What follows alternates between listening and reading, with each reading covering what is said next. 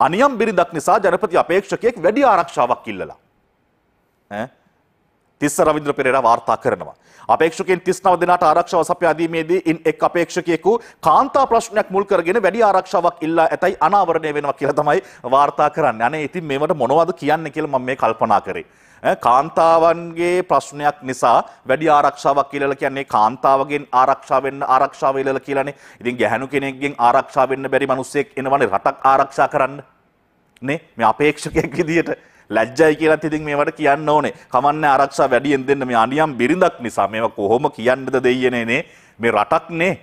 මේ රටක ජනාධිපතිවරණ වලට ඇවිල්ලා ඉන්න අපේක්ෂකයන්ගෙන් එක් අයෙක් ගැන තමයි ඉතින් මේ ජාතක පුවත්පතක් මේ විදිහට ලියලා තියෙන්නේ.